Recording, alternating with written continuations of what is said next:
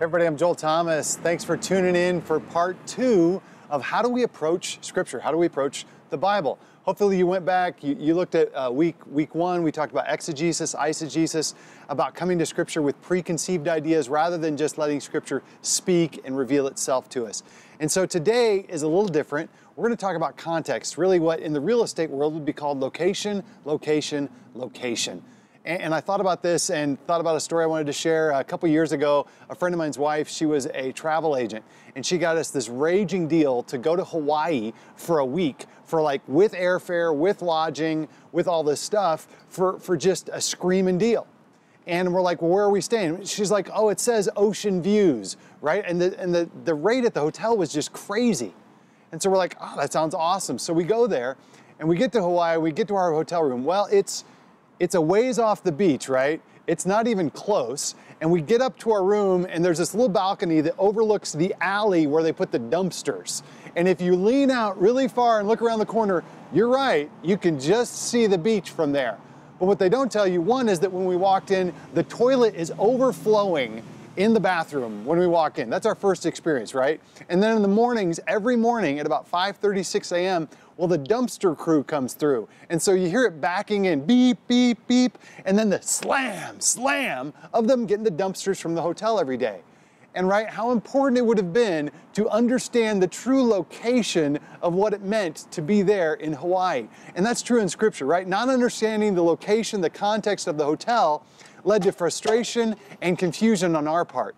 And this is true as we approach scripture.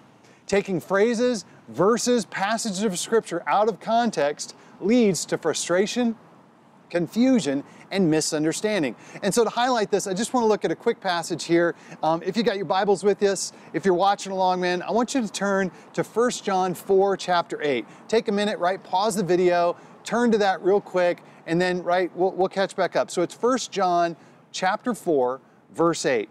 And John says this in verse 8. He says, uh, here we go.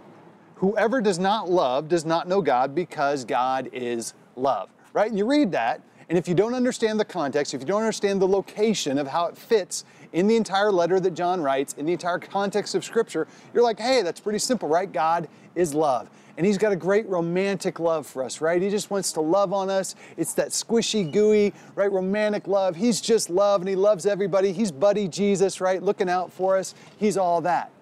And what you miss by not understanding the context of it, right, the location of that passage, is that really John is writing to try to protect fellow believers from false teachers. He's actually trying to, he's not even using the word for romantic love. He's using the word um, agape, that means really brotherly, sacrificial, giving love. And he's saying this is how we know a good communicator, a good, true teacher of the Word of God is somebody who's really giving to us and loving us in this agape form of love. But a misunderstanding is go, hey, God is love, right? He's always love. You also miss in the larger context of Scripture the fact that God is omnipotent, that God is holy, that God is just, that God is all of these things, right?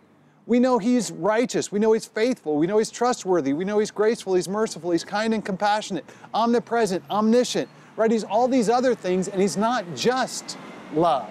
But all of a sudden, by taking one little passage right out of context, we miss the larger meaning, right? Because location, location, location, context matters. Our study is greatly enhanced by maintaining diligence in the use of context because it is so easy to come to a wrong conclusion by taking phrases and verses out of context, right? There's a passage in the Gospels that talks about right? You can handle snakes. And you've got some people that have created entire theologies and actually get poisonous snakes in the middle of a worship service. They've lost sight of the larger point of context being important. And so in real estate and in scripture, location and or context is king. Means that the context often often and almost always drives the meaning of the phrase. To ignore context is to put ourselves at a tremendous disadvantage when we're hoping to translate this to our lives. If we don't take the time to understand the larger context, man, we're gonna miss the point of what God is saying to us. And we open ourselves up to misunderstanding and to confusion. Again, it's a simple point. Man, this isn't rocket science. I'm not saying things others have said in much better terms. But again, just a tool to maybe help all of us move the needle as we hope to apply and understand the Bible more specifically in our lives. Tune in next week as we continue part three of Understanding Scripture.